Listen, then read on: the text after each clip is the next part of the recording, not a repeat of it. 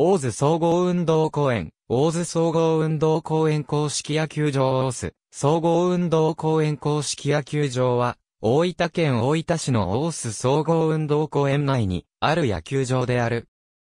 命名権導入による故障は、別大高山スタジアムで、従来の愛称は、新大分球場。施設は、大分県が所有し、大分県公園協会が運営管理を行っている。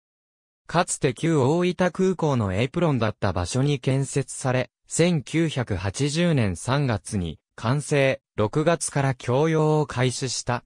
翌1981年、プロ野球公式戦のナイター開催に対応可能な照明設備を追加整備した。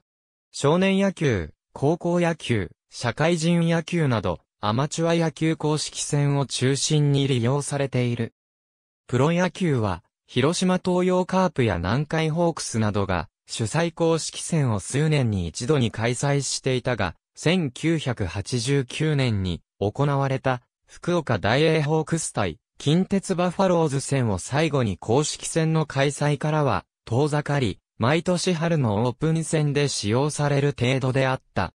しかし、2008年5月28日の瀬、パ交流戦で19年ぶりに横浜ベイスターズ主催による福岡ソフトバンクホークスとの試合が行われた。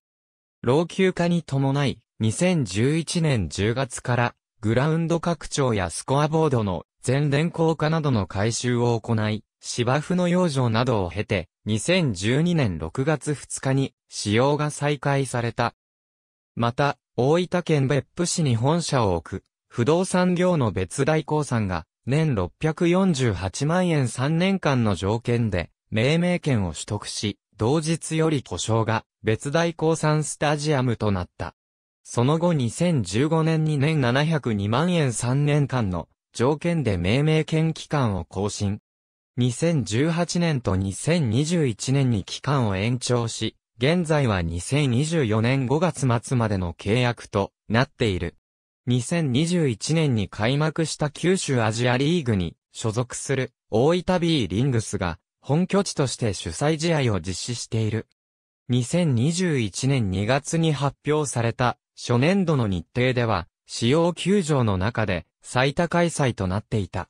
最終的に初年度の開催試合数は14試合で当初予定通り最多開催であった。